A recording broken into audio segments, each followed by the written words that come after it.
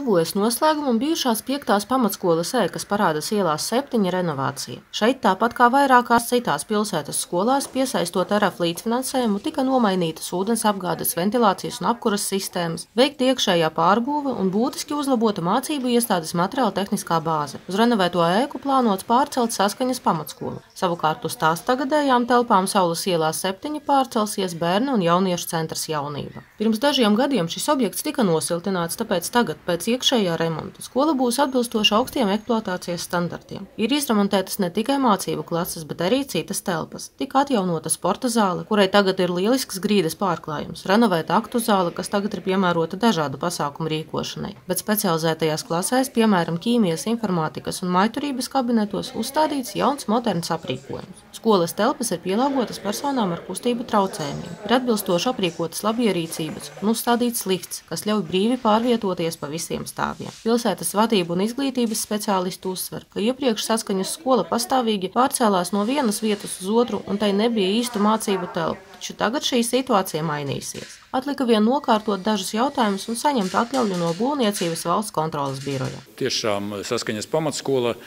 jau no savas pastāvēšanas brīd, brīža, kad kādreiz viņa saucās eksperimentālā pamatskola, ja, viņa atradās institūta ielā, tur universitātes telpās pielāgotās, vēlāk bērnu slimnīcas pielāgotās telpās. Viņi nekad nav īsti mācījušies normālās skolas telpās, kur ir laboratorijas, kabineti, sporta zāles, aktu zāles un tā tālāk.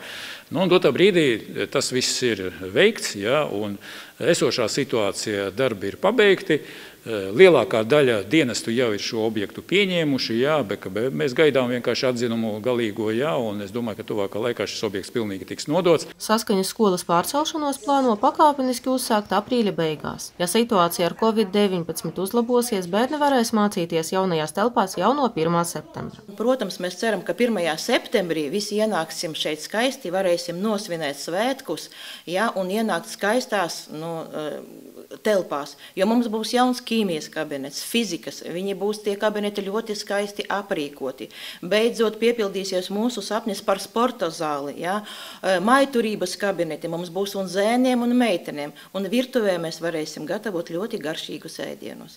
Tikai domāsim labas domas un domāsim, ka Covid skaidrais beigsies, pandēmija beigsies, un mēs visi varēsim skaisti sanākt 1. septembrī. Pēc saskaņas skolas pārcelšanās telpas Saules ielā septiņi nepaliks tukšas. Tur savukārt pārcelsies bērnu un jauniešu centrs jaunība, bet nākotnē centra pašreizējo ēku tautas ielā septiņi arī plāno atjaunot. Siežeta sagatavoja Daugavpils pilsētas domes sabiedrisko attiecību un mārketinga nodeļa.